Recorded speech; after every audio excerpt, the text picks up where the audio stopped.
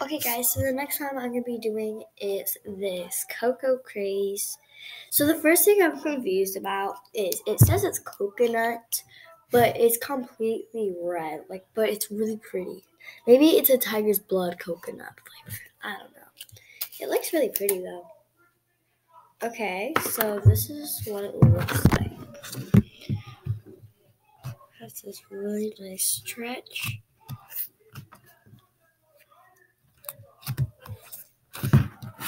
And it's actually like really buttery. So I'm just gonna get it out.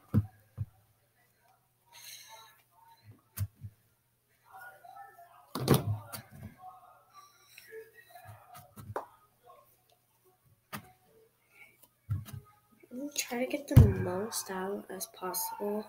It's kind of hard because the only thing I don't like about these slimes is they don't come out easily. But anyways, yeah.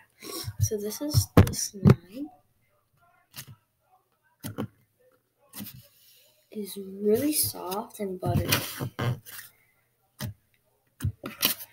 It's really stretchy. This is way more like a cloud slime. Um, it does break apart. I don't know why. And it also has these really cute charms.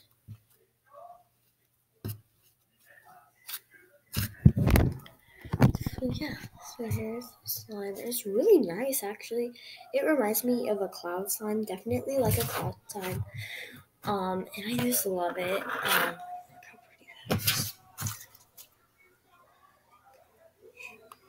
This is so pretty. Okay. It does break apart. You can see, like if I do this or something, it will break apart like that. You saw that? But it actually is a really nice slime. So let's do some ASMR.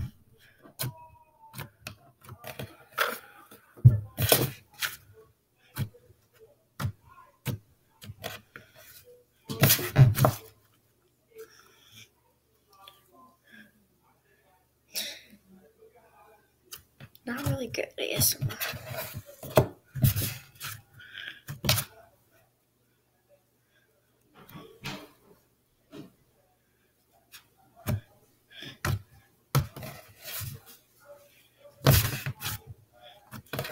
Looks like it has lots of bubbles, but it doesn't really. I mean, see that.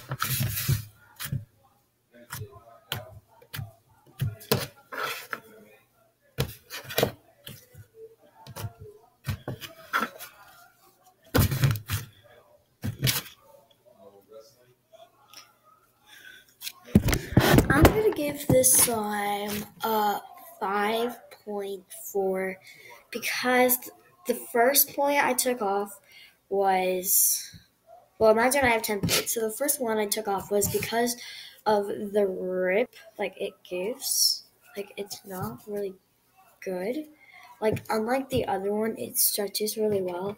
It has a little bit rip in the other one, but this one's a lot more rippier. Um, okay, so the other point I the another point I took off for was the stretch. It doesn't really stretch that well. Um, but I will give a half point because of the drizzle. It was good. Um, the other one, I have two more, I believe. Uh, the other point I gave what gave away was the smell. It's really strong and I, it's like an artificial coconut flavor, and I don't really like artificial type of flavors, but I do like this one. This was an artificial peach. It wasn't too strong or anything. Like, look how pretty. Mean, it smells really good. But this is just way too much overpowering. And the last point I gave off was the bubbles that it didn't even give at all. Unlike this other one, the peach one did give a lot of bubbles, surprisingly. And so, yeah, so I'm just to give this a 5.4.